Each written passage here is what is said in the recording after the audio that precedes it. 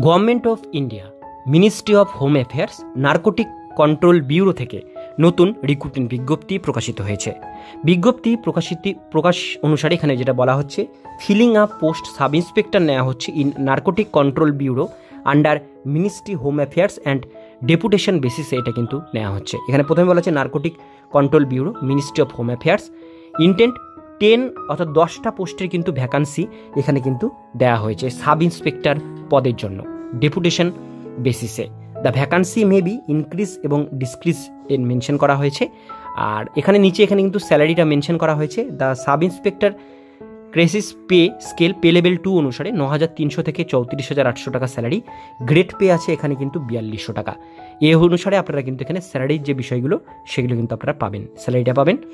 আর এখানে বলা হয়েছে অ্যাপ্লিকেশন, কারিকুলাম ভিটা আপনাদের একটা সিভি তৈরি করতে হবে ইন দ্য ক্লোজড ফরম্যাট এখানে একটা ফর্ম্যাট দেওয়া হয়েছে পিডিএফের মধ্যে। সেই ফর্ম্যাটটি আপনারা প্রিন্ট আউট করবেন। তার সঙ্গে ইলেভেন সমস্ত ডকুমেন্টসগুলো আপনাদের অ্যাটাচ করতে হবে। করে নিয়ে সেগুলো ফর্মের সঙ্গে অ্যাটাচ করে সেটা কিন্তু আপনাদের পাঠাতে হবে। কোন অ্যাড্রেসে পাঠাবেন সেটা এখানে দেখে নেবেন। এখানে মেনশন করা হয়েছে এখানে একটা অ্যাড্রেস সেটা হচ্ছে deputy director admin narcotic control bureau second floor August Kranti Bhawan, Bhikaji Cama place new Delhi one one zero zero double six এই অ্যাড্রেসে আপনাদের ফর্মটি পাঠাতে হবে উইদিন সিক্সটি ডেসের মধ্যে। ষাট দিনের মধ্যে এই ফর্মটি কিন্তু আপনাদের পাঠাতে হবে। এবার ফর্মের সাথে কী কী ডকুমেন্টস দেবেন, এখানে এক, দুই করে কিন্তু এখানে মেনশন করা হয়েছে, সেগুলো আপনারা দেখে নেবেন। আর ডেপুটেশনের নিচের দিকে আসলে এখানে বাকি পোস্ট ডিটেল বিষয়গুলো আপনারা এখানে জানতে পারবেন। এডুকেশন কোয়ালিফিকেশান এক্সপিরিয়েন্সগুলো আমরা এখান থেকে দেখে নেব। এডুকেশন কোয়ালিফিকেশান বলা হয়েছে যেটা এখানে এসেন্সিয়াল সেটা হচ্ছে bachelor degree from a recognise university থেকে গ্র্যাজুয়েশন কমপ্লিট থাকলে আবেদন করতে পারবেন। এক্সপিরিয়েন্স বলা হয়েছে টু ইয়ার্স এক্সপিরিয়েন্স রেগুলারিটির ল অ্যান্ড কালেকশন অর্থাৎ লয়ের উপরে আপনাদের যদি এক্সপিরিয়েন্স থাকে, সেক্ষেত্রে আপনারা এটা অবশ্যই আবেদন করতে পারবেন গ্র্যাজুয়েট পাশের সঙ্গে সঙ্গে। নিচের দিকে এখানে terms and deputation period of deputation দেওয়া হয়েছে। এজ লিমিট এখানে মেনশন করা হয়েছে।